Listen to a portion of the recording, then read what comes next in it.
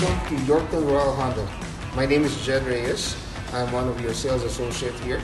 And today uh, we have great news for you guys. If you're looking for a new vehicle, especially a new Honda, we have a 90-day deferral payments until the 1st of February. So please come here and visit us. For more information or questions, you can give us a call at 306-782-2262 or you can call me at my cell phone number or text me at 306-620-2780. You have a great day.